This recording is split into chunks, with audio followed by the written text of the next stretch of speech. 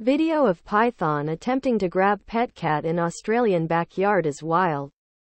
PetHelpful. Thank goodness this poor cat is okay. Dot. Below are your comments.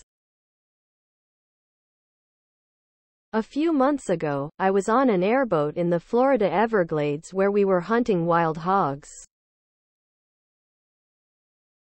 We spotted a python, we have lots of them now in the glades, sunning itself on the bank of a wetland. Dot.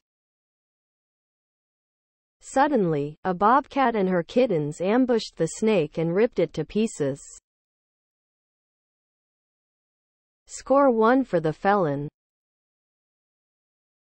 Cats are very aware of things going on around them. I'm wondering why it let the snake get so close in the first place. As much as I'd love to visit Australia, and love all things down under, this is the reason I'd never live there or visit there. Less than shudder greater than.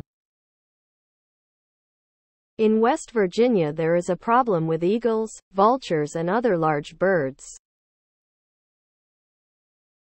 The problem them having cats small dogs for lunch. I can't believe how fast that snake is. The snake dropped the cat when the girl started screaming. Those blood-curdling screams of women can frighten anything away. Please subscribe to my channel. And if you like it, please thumbs up.